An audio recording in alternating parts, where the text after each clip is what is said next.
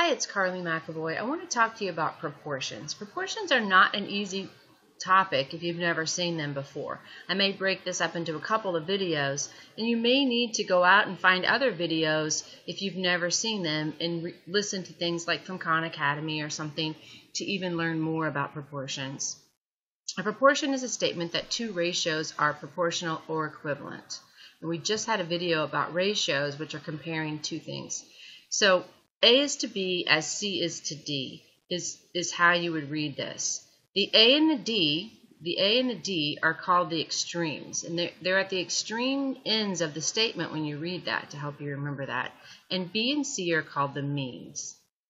In a true proportion, the product of the means, which is B times C, is equal to the product of the extremes, which is A times D.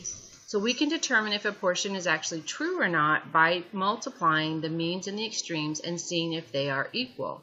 So here's one, 5 is to 7 as 15 is to 21.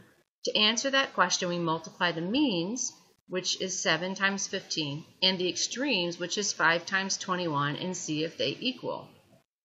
When I do that, I usually draw the arrow just to show you where that 105 came from. So 15 times 7 is 105. And in the other diagonal, 5 times 21 is also 105.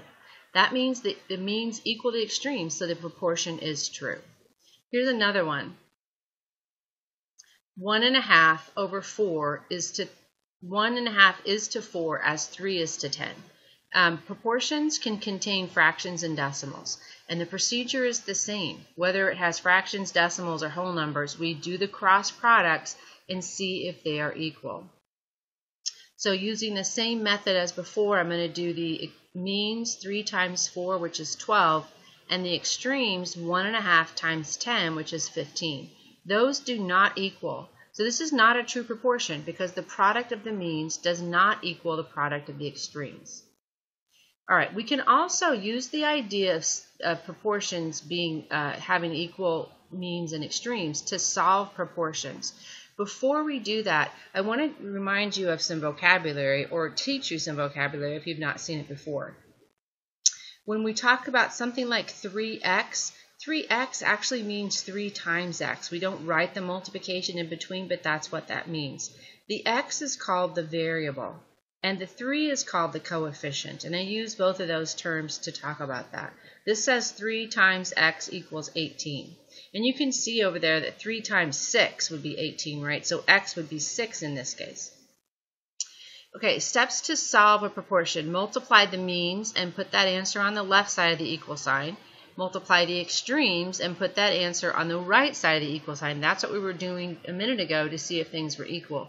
Then you divide both sides of the equation by the coefficient. Again, in this case, we would be dividing both sides by 3. And you can see if you did 18 divided by 3, you would get 6. That's how we're going to solve that. All right, so solve the next proportion. And this one I've written out in detail the steps here so you can see what's happening. We have 4 is to y as 12 is to 51. When we're saying solve a proportion, what we're actually mean is figure out what this variable would equal to make this a true proportion. So we start off by doing those cross products, 12 times y, which we're just going to write as 12y. We don't write the dot in there. And then 4 times 51, which is 204.